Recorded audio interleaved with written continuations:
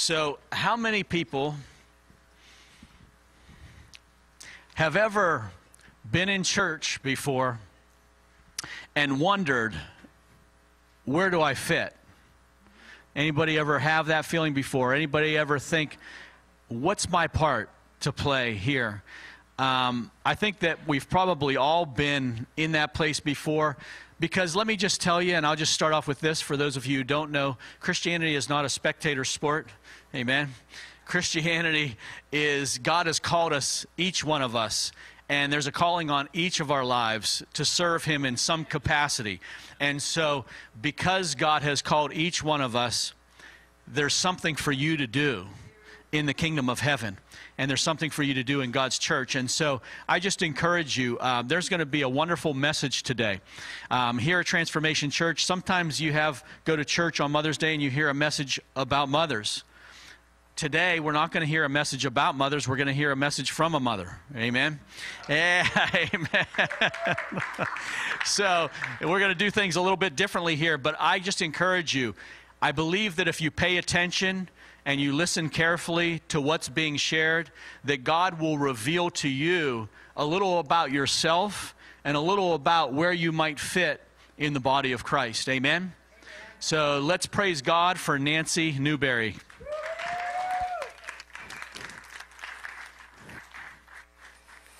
Thank you so much, Scott.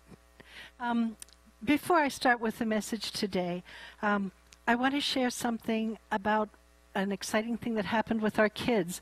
I was amazed to watch all of those kids, thinking, oh, God, you are really blessing us with so many children. Well, a couple of months ago, um, well, let me start a little bit further back. When you give your tithes and offerings, you give 10% because you're saying, What I have comes from you, God, and we want to give back to you. And as a church, we feel the same way. That when you give your tithes and offerings, we want to say, this is God's money, and we honor Him by giving it into other ministries. And we bless ministries around here, Teen Challenge and Alpha Omega, and some other ones, but we also send funds around the world so that the gospel can go forth, as Jesus said, all around the world. Well, Dan and Fauna, who are in charge of children, are really excited about sharing with the children this call to missions, this call to take the gospel all over the world. And so, a couple of months ago, they gave each of the kids these little containers and said, Put your spare change in here. And you can even ask your mom and dad and friends, put some spare change in here. And we described to them a people in Romania uh, called the Roma people. You may know them as gypsies. And they're kind of often outcasts in that in that society and so we shared with them and said you can really touch the lives of these families and kids if you'll get some money so after a couple of months of collecting the money they came up with $350 I want to tell you where that went. Um, Barnabas Ministries is a ministry that started locally. Um, Dan and Maria Hurlbrink, um, their picture will come up here in a minute. Uh, Maria is a Romanian national, and Dan came from Clarion. He um, uh, I got to know him as a young man, and he had such a heart and a passion. And they have been raising for 30 years. They've been pouring into children and youth ministry to raise up a godly generation in Romania. And they not only do it by teaching, but they actually adopted five orphans themselves and um, are experiencing all of what that goes with that. And um, but they also are a, a, storehouse of things, and they give it to the the gypsy people around. And so they uh, took this three hundred and fifty dollars, and they knew of a gypsy family. Oh, Okay, so that's they have a Christian camp where every summer they fill it with kids and share the gospel with them. this is the little village of Laz, and um, so the, this is a family, and this is a father and a mother. They have seven kids, from 12 to one month old, and um, uh, one girl, six boys, and the father is and the mother are both totally illiterate. They can't read, they can't write, they can't add. The father tries to take care of all of his children by just getting day jobs, cutting wood, carrying things, whatever he can find. And he spoke with Dan and Maria about their seven kids, and he said, My desire is that they should go to school. Well, in Romania, you can't go to school unless you have some money to get your own supplies. And he said, this family lives in a one room house, about 10 by 14 and um, that's their home. And so all nine of them live in there. And they really wanted to build something. He said, I want to have a safe, healthy place for my kids. And they started to build, but of course they didn't have much to build. And so he said this money that the kids collected was going to help pay for the beams for the roof. Now, here's the cool thing. He wrote about it in his newsletter and talked about what the kids here were doing. And when people read about it, they said, I want to give too. And so this $350 turned into over $3,000 that was given to help bless this Romanian families. Which is how it works in the kingdom of God. So, if you want to hear more about this wonderful ministry, um, wave Joe. Johanna and his wife are out in a table over there. They're board members um, with Barnabas Ministries. And so go over, talk to them, say hi, see if God put something on your heart too. Okay, so um, let's get started. On, um, we're going to talk today about the gifts of God. Paul talks um, in 1 Corinthians and he says, Now, about the gifts of the Spirit, brothers and sisters, I don't want you to be uninformed. There are different kinds of gifts, but the same Spirit who delivers, who distributes them. The Spirit gives them these gifts for the common good. So I don't want you to be ignorant about spiritual gifts either.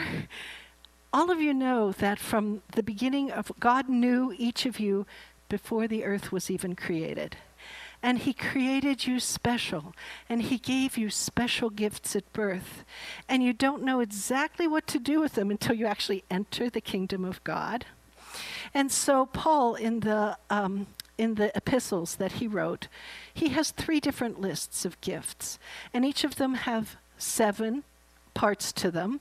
And um, the one we're going to talk about today is the motivational gifts. Um, they come with you at birth and then they get redeemed as you enter the kingdom of God. The other two lists are gifts. God has more gifts He wants to give you. Some of these are office gifts, like the apostles and the teachers and the evangelists and the pastors. God gives you those gifts as you enter the kingdom of God to put you where He wants you to be. And then the Holy Spirit gives you spiritual gifts, miraculous gifts, the, the healing gifts, the gifts of miracles, the um, discerning of spirits, uh, tongues and interpretation. All of these are special gifts that He still has yet for all of us to do. And He waits until you grow in maturity, till He's ready to give these to you. And then He says, I'm not taking them back. so, so there's all these gifts. But what about the motivational gifts? Um, it's the Holy Spirit who gives them. So when Jesus left and he's leaving, he told his disciples, Now just wait right here until I send the Holy Spirit, because he'll teach you everything that you need to know about the kingdom of God. And so it's the Holy Spirit who puts us and knits us together with the special gift that he gave you from the beginning. Um, so just so he gave them not just for us to enjoy, and we get to enjoy this, the gifts, but the whole idea is he wants to knit us into a body. That we all need each other. We each need each other, and we see things in different ways. We see things through different glasses. Now, the only person who had all of these gifts was the Lord Jesus Christ. The Bible tells us he was the fullness of God. And so we'll see all of these gifts operating in Jesus Christ. But for us, we need each other, and that's how God wanted it to be because we become the bride of Christ. We become the body of Jesus Christ. So I want to read to you from Romans. Um, chapter 12. He says, Just as in one body there's many members, and these members don't all have the same function.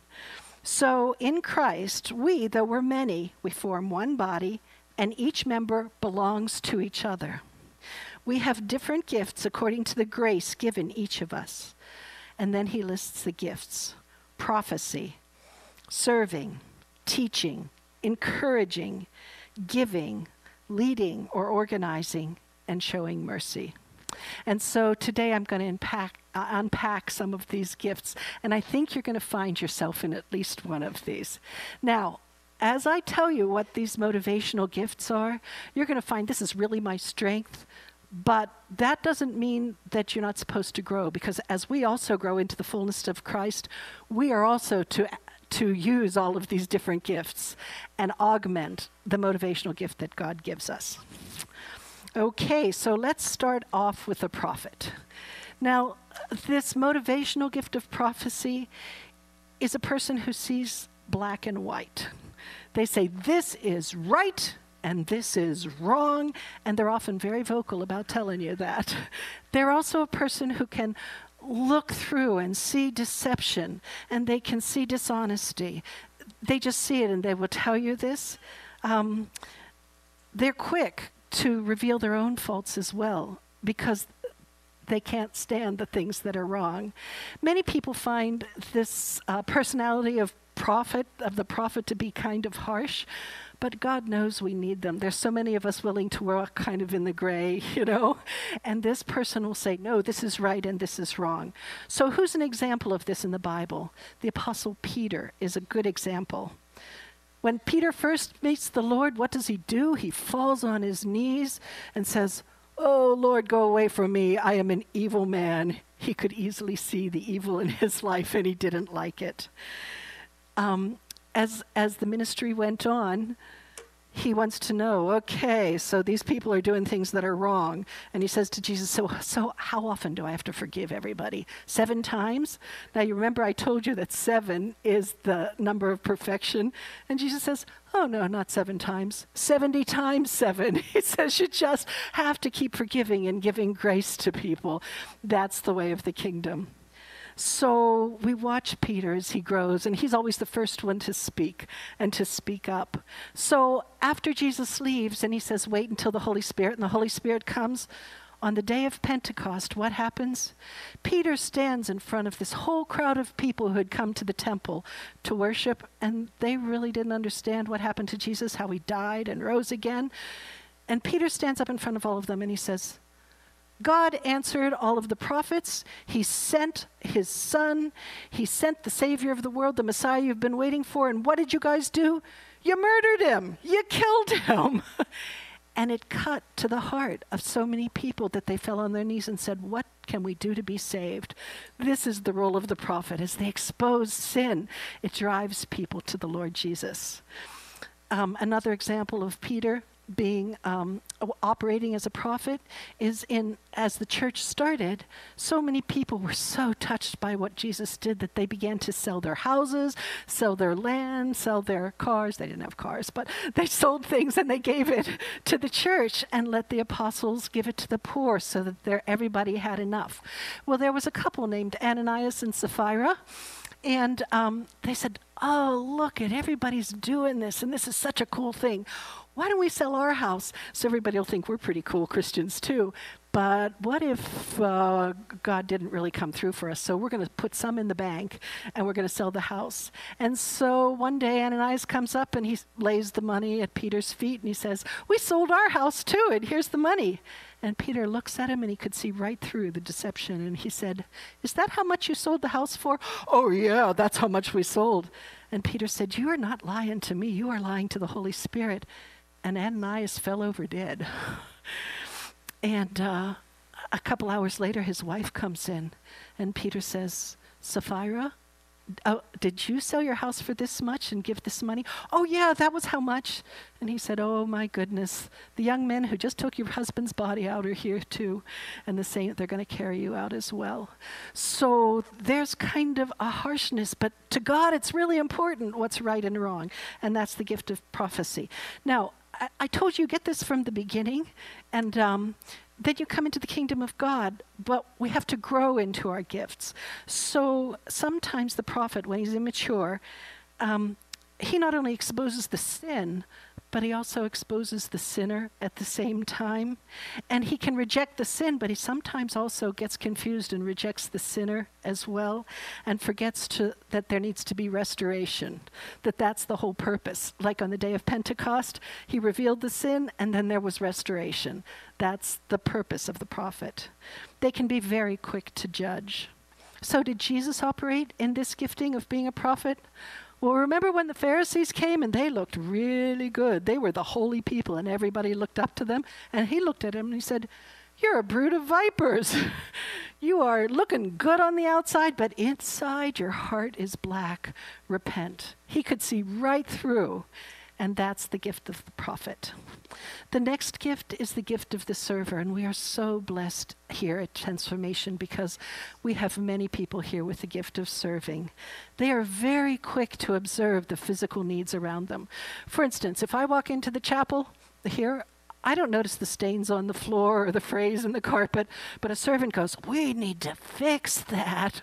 Or everybody's hungry between, we need to make sure there's coffee and good things to eat. And, and um, or look at the grass, it's growing, I can help that. Or we need to um, build the um, gazebo over on the property. I can do that. I've got a Saturday, I've got a hammer and nails. There's all these, they, they just see it and they get great joy in serving. Are there some examples in the Bible of this? Well, Timothy was. One of the things the server likes to do is they recognize a man or a woman or, or a project from God, and then they say, I can help. And that's what Timothy did. He was known as Paul's helper. And Paul often wrote to him and said, Oh, Timothy, I need you. Would you bring my coat? Would you bring my library? Would you bring this and that? Because he knew he could trust in, in Timothy. Another one was Dorcas. As Paul went around preaching, one town he went into, all the women were weeping. And he said, What's going on? And they said, This woman, Dorcas, oh, she died. She used to make all of the clothes for our kids. She could see things. She would make our clothes. She was just such a blessing to all of us. And now she's dead. And Paul said, Okay, Lord Jesus, heal her. And she came back to life. I mean, that was the way that God um, blessed her.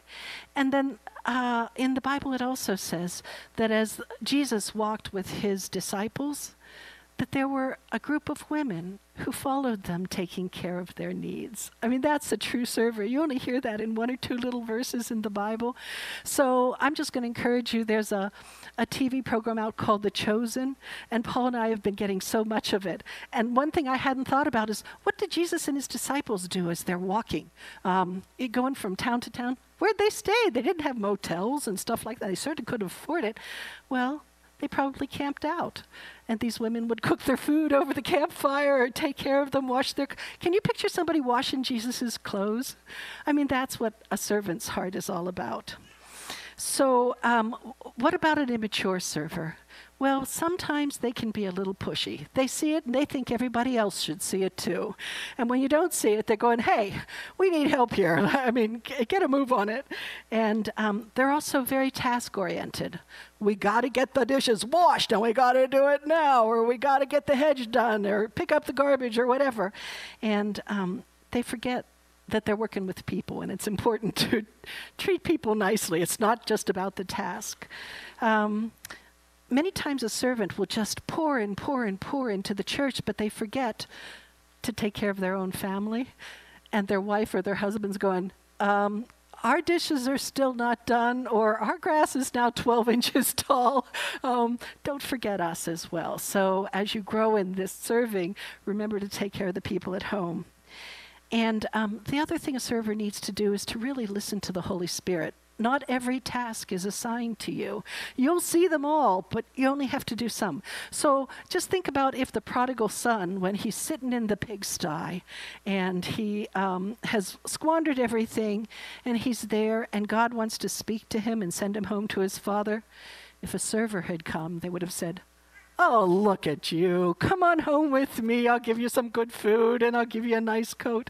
And you can get in the way of what God's doing if you're not listening to the Holy Spirit. So, in all of these gifts, it's important that we listen. What about Jesus? Was he a server? Oh, yeah. Remember on, on the night before at the Last Supper? They were all at table, and all of the 12 disciples were saying, Hey, before we eat, we need to wash our feet. Are you going to do it? No. You're going to do it? No. So, what does Jesus do? He takes off his coat, he gets a towel, he ties it around, and he kneels down in front of each of the disciples and washes the mud and the poop and the sweat of the day off their feet. And he says, You don't understand what I'm doing right now, but you will, because he's called us to serve each other. So that's the servant. What about the teacher? Now, the teacher is a person who reads every manual. they, they have to make sure they have all their facts in order. They will uh, look at the Bible, and if, they, if there's a question up, they will research every line and everything that the Bible has to say about it. They'll go back to the original source. They'll make sure they have the facts. Um, line upon line, precept upon precept, this is how the teacher operates. Um, one of the biblical examples of this is Luke. When you read through his Gospels, you realize that he went back and talked to Mary and said, What was it like when Jesus was born? And he went and talked to all of the different people and talked to the soldiers and talked to people. And when he wrote it down, he had his facts straight. Um, I recently was reading and discovered that um, the Gospel of Luke and the book of Acts were probably put together as part of Paul's defense when he went before Caesar, and that so Luke really made sure that he had all of his facts right. Um, sometimes we can get a little annoyed with the teachers because when they're immature, they get all this knowledge and they go, I know better than you. I've studied this. You haven't studied as much as I have, and they can become prideful. So a teacher has to be careful in how he presents the information that he's given. But we need them so much. We need someone who's going to check what's happening against the scripture. Um, a, a, teacher can often trust his intellect more than the guiding of the Holy Spirit. It's really important for a teacher to sit and meditate on God's word and to get God's heart because you don't want to just have the facts, but you need to have the understanding of where the Spirit's going with that. Um, now, when you talk to a teacher, sometimes they want to give you way too many facts and you don't really want to listen to all of them because they want to make sure that you know how they got where they're going. So um, when they're sharing that, and sometimes they can become argumentative. So if you have this gift of teaching, just learn and grow in grace. What about Jesus? Was he a teacher? Picture Jesus, he died he was raised from the dead, and then he wanted to begin to reveal himself to his apostles. Well, two of them said, We've had it. We're leaving Jerusalem. We're going to go to this little town called Emmaus. And they started walking out, and they're saying, What in the world happened? Jesus is dead. We don't know what's happened to him. And Jesus appears. Now, somehow they didn't recognize him, but he begins to walk alongside of them, and he says, Hey, guys, what you talking about? And they go, Don't you know what happened to Jesus? We thought he was the Messiah, and they killed him. We don't know what's happened. And so it says, Jesus opened up the Old Testament and he went and he talked about every single scripture that referred to the Messiah and what should happen to him. That was a sermon I would have liked to have heard. He knew, as line by line, it had been written, and he knew his his. Uh, of course, he wrote it. He's the Word. So anyhow, okay. The next one is called an encourager or an exhorter. And this one is special to my heart because this is my gifting. and um, so, what an exhorter and encourager can do is when they look at you in your messed up state, they go, Oh, what a giant. Look at what that woman can do. Look at what this person can do through the power of Jesus Christ. And they don't see the mess of your life, but they see where you can go and what a blessing you can be in the kingdom of God. Um, they visualize spiritual achievements that you have yet to accomplish. One of the ways exhorters like to do this is by telling stories and um, showing examples. And um, they do that to get their point across. Now, in the process, um, oh, okay. And um, one of the other thing is that um, when something bad happens to a Christian, now Satan's always coming as our enemy, and um, he does things, but an exhorter knows that Satan has to pay you back for that, and that God is going to use that to bring spiritual character to you. So if your house burns down, or you break a leg, or whatever, Satan steals from you, the exhorter goes, Oh, what an opportunity. There's good stuff behind this. Just go through it. And so they encourage you in that way. Um, an, an exhorter wants to see you face to face. They don't want to really talk on the telephone or type on Facebook or something because they need to see your whole body language, how you're receiving what they're doing. um, so, who is a good example of this? What's Paul? He had the office of an apostle, which meant he went around starting churches, but his heart was to see these baby churches grow. And so much of the epistles are him saying, "Okay, do this. Stay away from this. Grow. Here's here's the gifts God wants to give you." And he was an ex- a prime exhorter as he grew the Church of Jesus Christ. Um, what about immature exhorters? Well, uh, sometimes we think that the story is a whole lot more important than getting the facts straight because it's such a good story. and so we really need the prophets and the teachers to go, hey, wait a minute, um, let's get these facts straight here. Um, another problem with an exhorter is because they love stories so much that if you share your story and they go, oh, attaboy, let me tell you what happened to so and so over there. Well, so and so hasn't given me permission to share that story, so they have to be careful to get permission to share the stories. Um, exhorters sometimes can see people as projects, and exhorters sometimes like to jump from one to the next to the next because their eyes are always going, woo, woo, look what's there. So exhorters also need to grow up. What about Jesus? Was he an exhorter? Well, think about how he collected the 12 apostles. These were working stiffs. I mean, they were fishermen. Some of them were soldiers. Some of them were tax collectors. Some of them may have been carpenters uh, that he met on the job. We don't know. But he looked at these men with all of their roughness and all of their toughness, and he said, These 12 men are going to change the world. Nobody else would have seen that in them. They would have just said, uh, they got blisters and they're rough talking. They hadn't been to Hebrew school. I mean, they hadn't been studied. But he said, these are the ones who are going to change the world. And that's what an exhorter does. They look at you and they say, what a gem. What a gem. Okay. Um, before I go any further, I just want to tell you that a lot of what I'm teaching you here today, I want to give credit where credit's due. Because in the 70s, there was a man named Bill Gothard who went around the, uh, the country teaching uh, the prince, life, basic life principles. And Paul and I received the teaching from him that we have put together in our life over and over again. For instance, we have a daughter who's a has the gift of prophecy, and for her, things are black or white. and we had to learn how to deal with that. For instance, um, uh, Bill Gothard was preaching that uh, only hymns were an acceptable way of worshiping Jesus, but we were part of a charismatic church and we were praising with the best of them. And my daughter said, Wait a minute, wait a minute, one has to be right and one has to be wrong. And so she had to grow in learning how, you know, sometimes it's a matter of choice, not right or wrong. So once you know to look in your children, and say, that's the gifting they have. We can work with that. We can help them to grow and develop that gift. And by the way, I'm a mother of four and a grandmother of seven. And um, my son is back there. He came as a mother. Wave, Daniel. that's. he came today as a Mother's Day gift for me.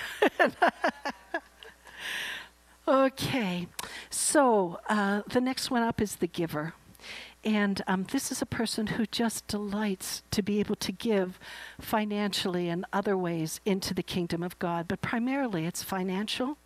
And um, this person would know how to obtain the resources that are necessary and then make wise investments in the kingdom.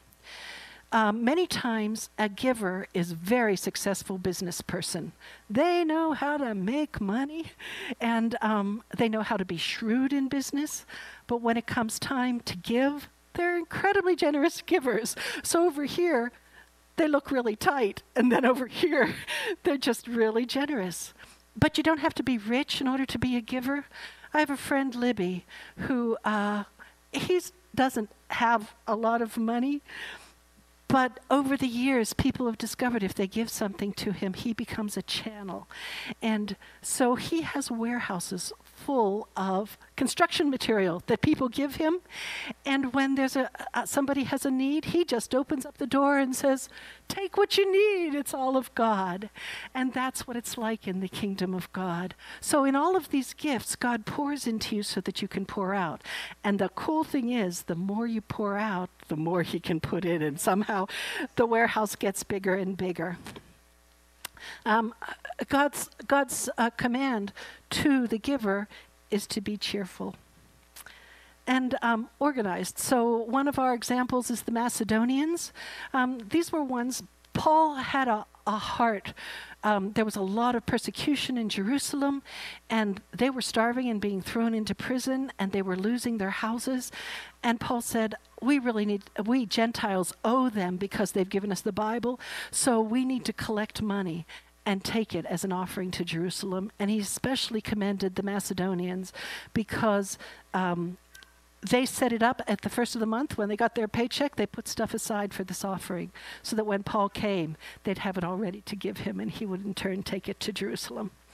And um, another one is um, when uh, moses wanted to build the temple he said this is god's commandment. We got to build the temple. And the people in the wilderness dug into their tents and they gave so much that he, Moses finally had to say, Enough, enough, we got enough. And as we move forward as Transformation Church to expand where God wants us to be, I believe there's going to be this kind of plenty as we all learn how to give and to give of our resources and the stuff that we don't know. There's, there's blessings in giving. Um, one of the other people I want to take your attention to is Matthew. Now, Matthew was probably the richest of Jesus' disciples. He'd been a tax collector, he lived a really cushy life, and now he's one of Jesus' disciples. And he's the one who says, when you give, give in secret so that nobody's looking at you, but, but recognizing Jesus. And he's also saying, do it generously, and that the love of money is the root of so much evil. And he had seen how money had been used wrongly. And so Matthew's a wonderful example of a giver. Okay, what about immature giving? Well, sometimes if a person has resources and they want to give to the church or to whoever, an immature person might use it to control others and say, well, you know, if you do it my way, I got a whole lot of money to give you. And um, the giver has to learn to trust the leadership and to do what the Holy Spirit tells him. A giver, a wrong giver, an immature giver would say, I got stuff I want to give. Um, as Jesus said, don't stand on the corners and don't make a big show or blow trumpets when you give. Do it quietly. Takes a while to learn that. A giver could also have a tendency to hoard what God gives him, what God means for him to pass on as a, as a river to pass through. Um, the other thing is to be careful. Sometimes a giver is really tight and frugal at home, and while he's really generous in giving other people stuff, his family goes, I need a new dress. Um, the, our car's 10 years old and it's fallen apart. So the giver needs to learn how to be generous at home and not just in ministry situations. And here's one of the most important things a giver has to learn is to be sensitive to the Holy Spirit. Because there's people who in the quiet of their bedroom are kneeling at their bed saying, Oh God, I've got a bill, and if I don't pay it, my kids aren't going to have a house. And God's nudging that giver and he's saying, Go take that thousand dollars and give it to this company. And the guy says, Well, I'll just watch them for a while and see if they really need it. I don't know if they really need it or not. The giver needs to learn to be instant because then God gets incredible jur- uh, um, praise and glory when, when somebody sees the instant answer to their prayers. Okay, what about Jesus? What did he do? Well, just remember when he fed the 5,000, he looked and said, Okay, what do we have? We got these five little rolls and two fish, and I got 5,000 plus people out here who are hungry. And he multiplied it, and he gave, and he, he took what he had, and as he gave, it became more. Or um, one of the other things that I always find interesting is uh, at the uh, Last Supper, when Jesus knows he's going to be betrayed, he says to G- Judas, Go and do. He knows he's about to be betrayed. Go and do what you have to do quickly. Well, the other apostles had no clue that he was going to be the one who betrayed. And it says, since Judas held the money bags, they thought he, Jesus was telling him to go out and give to the poor. So that was Jesus' habit. As people would give towards his ministry, he gave alms to the poor. That's who he is. Okay. Got two more to go. The next one is the organizer, the leader. They call it the leader because it doesn't translate really well, but it's really kind of a gift of organization. And my dear husband Paul has that gift. And so as I create chaos in our life, being an exhorter, he can walk through a room and put everything in order just by the time he walks through one end. Something would take me four or five hours. He just has all organized. And um, so what the organizer does is he he knows how to take all the efforts of all the other giftings and how to take all of the resources that have been poured in and use them toward goals. Now he doesn't have to be the one who sets the goals, but once the goal is clearly there, he knows how to go towards that goal. And um, an organizer will wait until the people in charge say, okay, I recognize that gifting in you, go do it. And then they'll get it done. And um, an organizer knows who they can count on. They don't want like a mass cattle call with everybody to come and you have to organize this and that. He goes, I know I can trust that person who'll be here on Sunday and run the soundboard.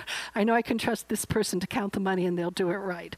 They gather around them people who know how to do that. Um, they know how to break huge tasks into little manageable pieces and say, okay, you take care of that, you take care of that, and you can take care of that. Um, the organizer gets their joy in the completion of the task. they see it done. They don't really need a lot of glory. They'll just sit in the background and do what they have to do, and the joy is seeing the goal accomplished. So, is there an example in Scripture of an organizer? I want you to remember Nehemiah. That's a little tiny book in the Old Testament. And so um, Israel had sinned. Jerusalem was in ruins. Everybody was taken away to Babylon, and it was time for them to come back. And uh, Nehemiah had a high position in Babylon, but he asked to be sent. He asked them to send him back so he could rebuild the city. And he got there, and the walls they were just a mess. And so he went out and looked it all over, and then he said, "Okay, you do from this gate." To this corner, and you take it from this corner to this guy's house, and you take it from this corner to this. So he saw this total shambles with, oh my goodness, where do we start? And he organized all the people and gave them little bite sized pieces. And in less than a year, they had rebuilt these incredible walls around Jerusalem because of the organizational skills of Nehemiah. So, what about an immature um, organizer? Well, sometimes they get really frustrated at the inefficiencies of others. and um, when they get really frustrated, sometimes they let you know about it and, some, and damage the relationships in that process. Um, and often they're so. Uh, they so much want to get the task done that they will ignore the character flaws in other people, and so they don't help these people grow through it because they're getting the job done. And um, they also need to see the task completed or they become discont- uh, discontented and could move on. What about Jesus? Was he an organizer?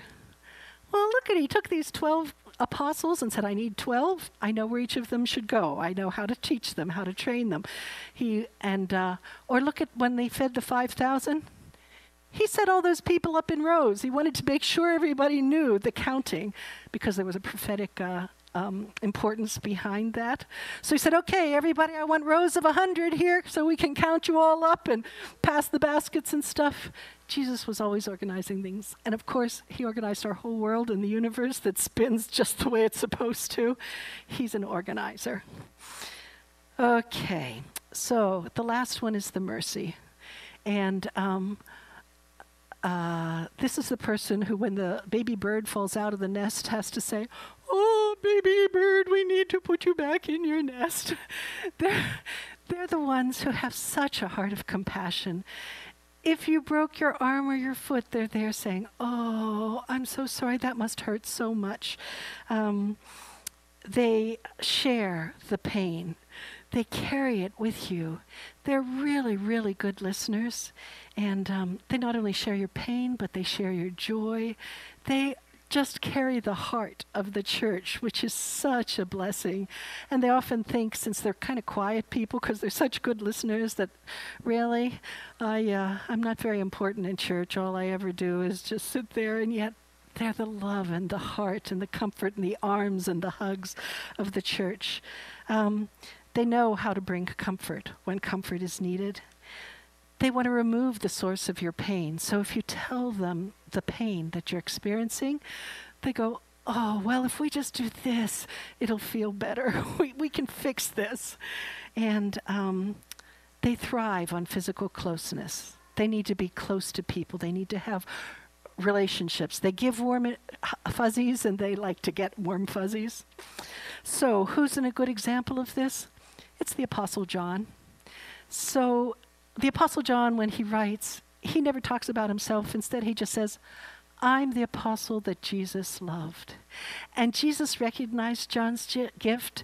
And so every time something really important was happening in Jesus' life, he wanted John there to experience it with him. So think about the Mount of Transformation when Moses and Elijah come and tell Jesus about what he's about to face, and his face glows. He wanted John there to be there and experience with him. Or uh, what about at the Last Supper? John wanted physical closeness. It actually says that John was leaning on Jesus' chest. I mean, this is almost un, uh, unheard of, but he needed that physical closeness. And I think Jesus loved it too. And uh, what about in the Garden of Gethsemane when Jesus is facing his worst day of his life, knowing what's happening? He said, John, come and pray with me. And uh, from the cross, as Jesus is hanging there dying, he looks down at his mother and he says, John, take care of her. Because he knew that John would be the comforter that his mother needed at that time in the years to come. This is the privilege of the mercy. Uh, what about an immature mercy person? Well, so say a woman comes up and I'm a mercy and she starts telling me about what a rat her husband is and he's done this and that and whatever. Well, a mercy can take on the offense without having heard the other side. And then they won't be able to look at that guy. I mean, they'll kind of glare at him when he walks in the room. You're not meant to take up the offense. Your job is to bless and comfort and counsel that person, but not carry their offense because God's working in all of that. Um, a mercy can be real demanding in a friendship relationship they just want you on the phone all the time. They need to tell you every piece of what's going on. They want to know all the pieces of your life. You're like, I'm busy. I don't have this. But a mercy needs that kind of love and companionship. That's what they thrive on. And so they need to learn to balance all of that. Um, one of the other things that an immature mercy has to watch out for is um, if there's a person and they're walking in sin, the mercy doesn't want to see them punished. They just like, it's okay. And they'll often gloss over major issues that God wants to work on because they're, they want that person to feel better, not necessarily to grow into all that God has for them. And the one more um, real important thing that a mercy has to watch out for is that the opposite sex is really attracted to mercies ah, that person's listening to me and they know, they feel my pain and they love me. And so a mercy has to be very careful to set up clear boundaries, not to get entangled, because they can get entangled just as well as the other person can. And so you need to set guidelines like, I'm not talking to somebody of the opposite sex alone. That will never happen. And, and, um, uh, no, we won't meet, and you know, yes, have your spouse here or whatever. You need to set up those boundaries if you're a mercy. So, was Jesus a mercy? Oh my goodness. He walked through and he saw all the pain of the people around him. And if somebody was sick, it says in compassion he healed them. Or what about us? He looked at our sinful state and he said, I can't leave them there. I will give my life so that you won't have to be separated from God because of his love. So let's kind of sum this up. And it says, um, even though we're one body in Christ, we need each, o- each other. And just like a body has many parts, all of the parts form one body. And so the Holy Spirit has chosen you to have this incredible rule that you get to do with joy. But it's not just for you, it's to build up the body. And, and Paul says, the foot can't say, because I'm not a hand, I don't belong to the body, or it couldn't stop being part of the body for that. And uh, the ear can't say, because I'm not an eye, I don't belong to the body. Because we need each other. We really need to have all of these gifts working and operating in the body. And um, uh, Paul sums it up this way. He says, Now look at everybody, the end of all things is near above all, we have to love each other deeply. understanding where each other come. It's, it's helped Paul and I so much in accepting other people to know that that's where they're coming from. That's where they're coming from. But that was how God wanted them to come. And it's made us much more tolerant and accepting um, and loving of others. So, above all, love each other because love covers over a multitude of sins, so that in all things God may be praised through the Lord Jesus Christ. Thank you.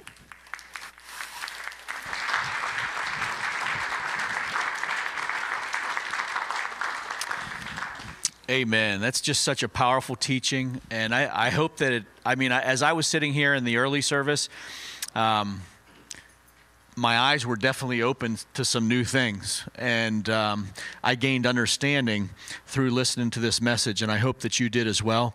And I hope that we can go from this place and take some of the information that Nancy presented and apply that to our own lives. Not just walking out of here and be, being forgetful hearers, but actually taking the information that was shared and applying it to our own lives, applying it to our own situations. I love the idea of um, being tolerant with other people and seeing the different giftings upon their lives and knowing that just because they're different than us doesn't mean that they're wrong.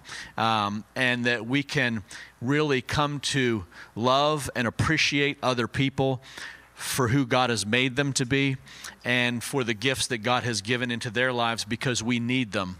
And we all need one another as the body of Christ. And so it's very important that we're able to recognize different people's giftings and be open to those gifts in our own lives because that's how the body grows together. Amen. And and the goal there is if you read Ephesians chapter 4 is that we all come together in the fullness of Christ. And so when each member of the body is operating in the gifts that God has given them, we're all strengthened and we become stronger and we we actually enter into a place where it talks about the fullness of Christ. And isn't that what we want to be together as the body of Christ? We want to operate in that fullness. Why? Because when people come through our doors, we want to be able to minister to them in such a way where they walk out of here feeling like Christ Himself ministered to them. That's why we're called the body of Christ. Amen. And when each person is operating in their own giftings, in these services, then people will come in and have that encounter and that experience that Jesus Christ Himself ministered to them while they were here. And they'll walk out changed people. And that's what we desire. That's what we're looking for, that God would get all the glory for that. Amen. I also love the, the idea of um, Nancy shared about us being born with certain gifts that God has given us. And that until we come to know Jesus Christ and walk in that place of being Christians, those gifts are still there, but they just come out in different ways.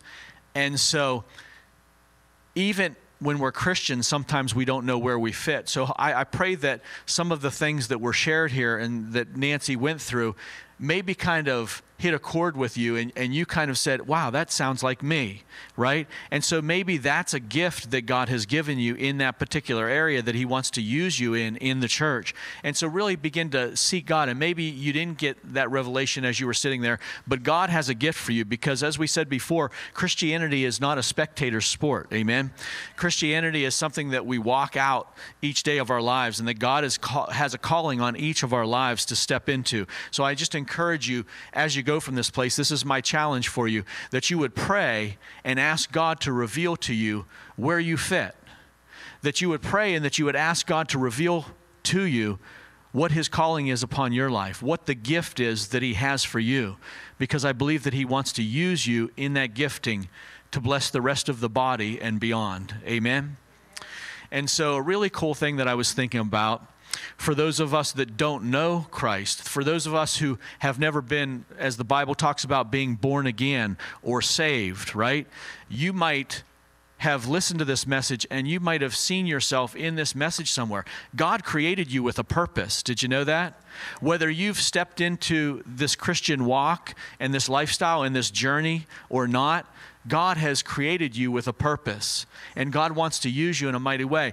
The first step in God using you in the very thing that He created you for is for you to surrender your own life and for you to say, Lord, I surrender myself. I ask you to forgive me of all of my sins and to come into my life and be my Lord and Savior. And so I just want to right now I'd like everybody to bow your heads, close your eyes, and search your hearts. And I just want you to ask maybe you're here in this room, maybe you're listening online, but I believe that God is calling you today to take that step upon that path that He has purposed for your life. And so, if you've never taken this step, if you've never surrendered your life to Him and invited Jesus Christ to come into your life and be your Lord and Savior, I want you to take that step today. And I believe that God is calling you to take this step today. So, with every head bowed and every eye closed, searching your hearts, if this describes you right now, I just want you to lift up your hand right where you're at just between you and God and just saying, God, I'm that person and I want to take this step today. Is there anybody out there that would say that? Just lift up your hand right where you're at. Amen. Amen. If you're here in this room or you're listening online and you want to take this step, I want you to pray with me right now. Just say, Lord Jesus, I recognize the price that you paid for me on the cross at Calvary. Lord, right now, I understand that you have a purpose for my life. Lord, I surrender to your purpose right now.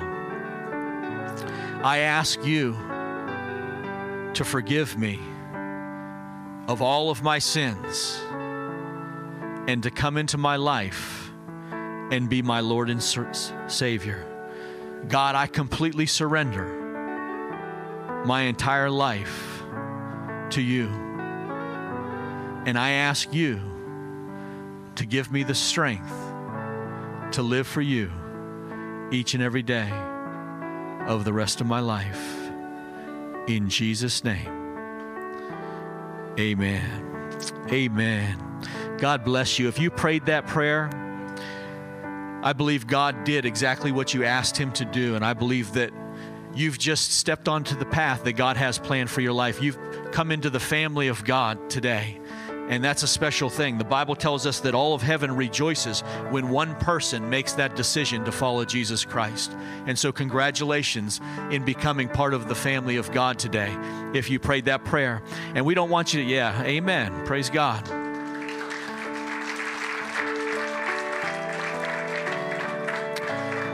So, this is a new thing for you. And so, throughout the next days and weeks, I know that you're going to have some questions. Um, we just have a booklet that we'd like to put in your hand to answer some of those questions that you might have as you walk out your faith in Christ. And these booklets are right outside the door here.